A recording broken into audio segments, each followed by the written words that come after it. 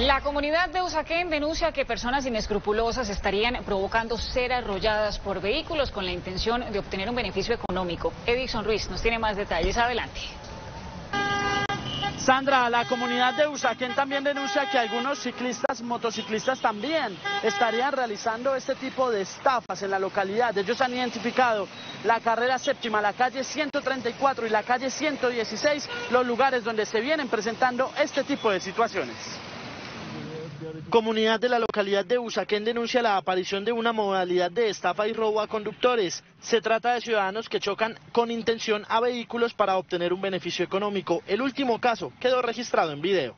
Cuando ocurren este tipo de accidentes, pues el conductor entra en pánico, no sabe qué hacer.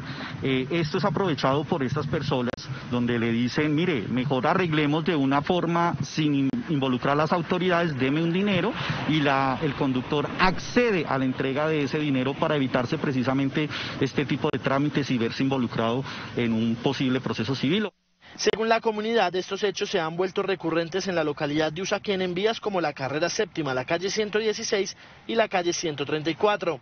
Hemos recibido muchas denuncias frente a este tipo de estafa en la cual las eh, personas ocupantes, motociclistas, peatones, biciusuarios, que, o, cualquier tipo de persona que se movilicen en algún vehículo encuentran la oportunidad para chocar a estos vehículos y así buscar ese beneficio económico.